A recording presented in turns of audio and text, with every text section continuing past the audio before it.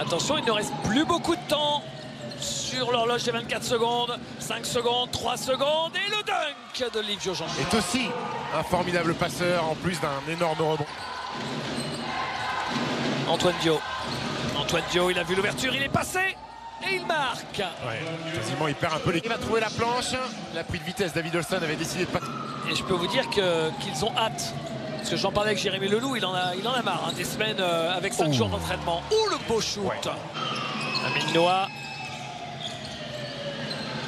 Noah qui est passé. Il peut pas passer. Il peut pas passer comme ça quand on vient entre les joueurs. Devant Abdoulaye Loum et Rachid Souleymane et Antoine Dio qui l'a bon, Énorme réponse d'Ismaël Bako qui loupe un lay-up et là il se dit allez, plus de lay-up. Jekiri, Et voilà. le panier avec la faute. Lasvel déroule. Ouais, Jekiri en douceur. Axel Julien essaye de mettre du rythme. Axel Julien. Oh, il est parti au carnage, Axel Julien. Il est parti au carton. Et là, 2 contre 1 pour Lasvel. Edwin Jackson. Et le panier de Amine Noah.